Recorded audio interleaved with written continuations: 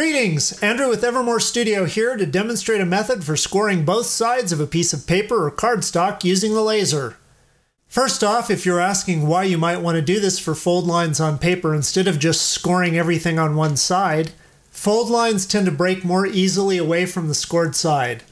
When you're doing intricate folding, like for origamic architecture style pop up cards, it's good to take any help you can get when encouraging tiny bits of paper to fold in the desired direction.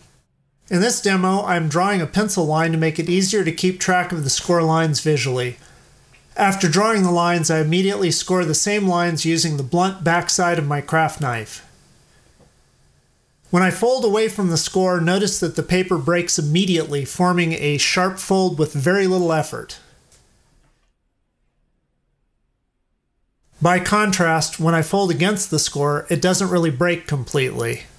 I would have to put additional pressure on the fold directly to get it to crease as much as the first piece, and it would still result in a rougher looking fold line. You need to score the mountain folds on the front and the valley folds on the back. Let's check out one way to do that with the laser cutter. I'm using my Glowforge here, but this technique should work with pretty much any appropriate laser.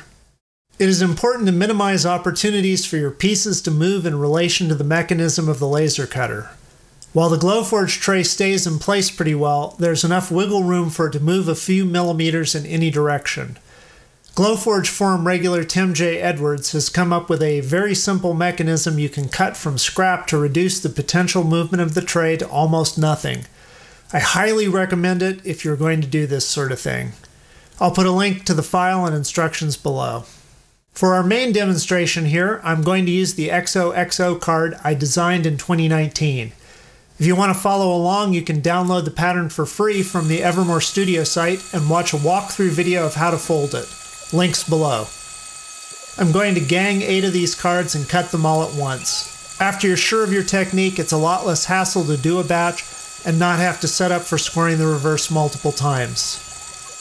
I'm using a Seklema mat here to hold my stock in place while cutting and scoring. It keeps everything in place and keeps cutout bits from flying around and interfering with other cuts. I'm a big fan, but they are a bit expensive and there are alternatives. More on that in a bit.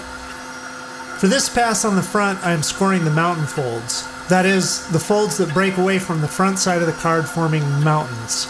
The valley folds will be scored on the reverse and their operation has been disabled for this run. I love my laser, but even I don't want to watch a video of it cutting for 10 minutes, so we'll just power through this with some video editing. After unloading the cards that have been scored on the front and cut, I'll load a new sheet of stock.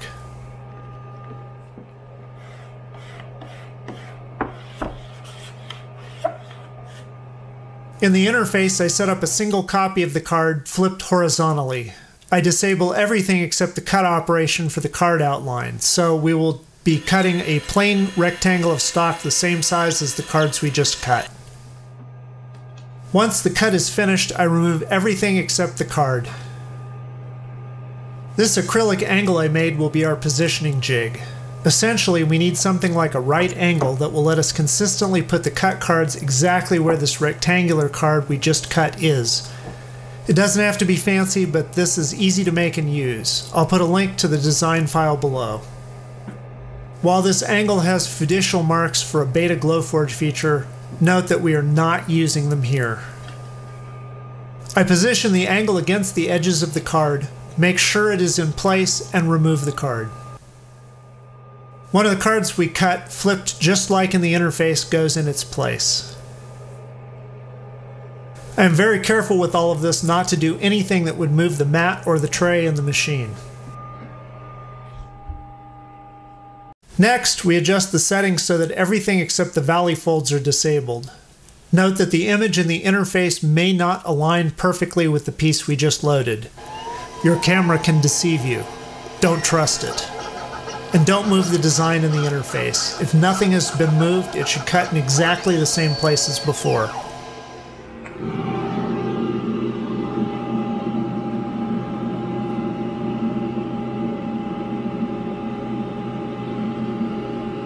This microscope image shows the upper part of the O we just scored next to a ruler marked in millimeters. As you see, we got hairline alignment of the score lines on the reverse.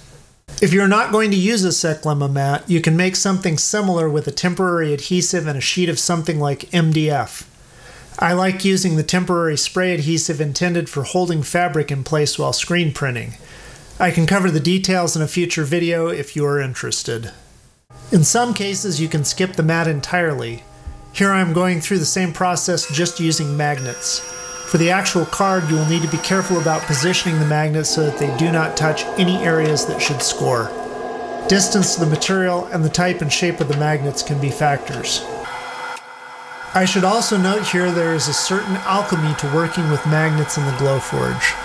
Magnets near where the machine is cutting can interfere with the air assist fan, triggering an error that aborts the print. Despite your best efforts, you may not always get your angle jig positioned perfectly. When your score lines on the reverse aren't quite aligned, if you can quantify the amount and direction of the misalignment, you can often adjust the positioning in the user interface for the laser software. Here, for example, I moved the design a 16th of an inch to the right with the GFUI Absolute Positioning tool. My next attempt will be 1 16th of an inch to the right of the last attempt.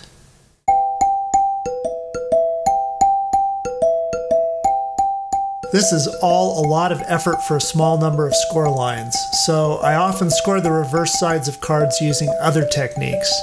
When you have a lot of small fiddly folds like the arch on the O's here though, this can really save time.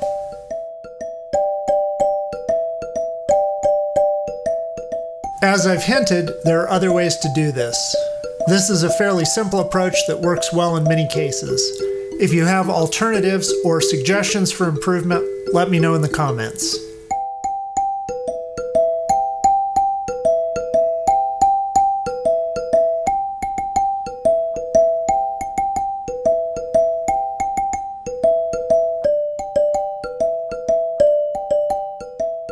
Thanks for watching.